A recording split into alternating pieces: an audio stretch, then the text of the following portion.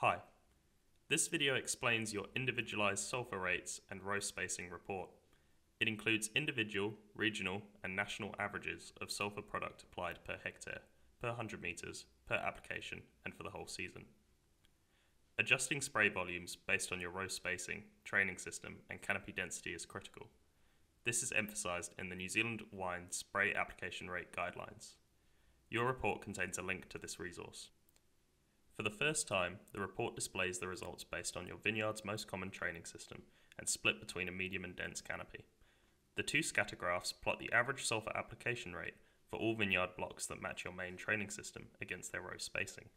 The blue dotted lines are the manufacturer's label rate, plus or minus 20%, adjusted for row spacing, training system, and canopy density. Your vineyard's blocks are shown as orange diamonds. If your vineyard falls outside this band, then we recommend reviewing your application rates.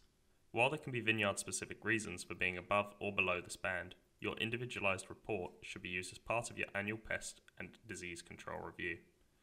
On the report, a link is provided to a New Zealand wine fact sheet on assessing and adjusting spray coverage. The two graphs along the bottom show the distribution of sulphur applied in New Zealand and specifically in your region, both per pass and for the whole season. Where your vineyard sits in the distribution is highlighted. Thanks for participating in this benchmarking and reporting program.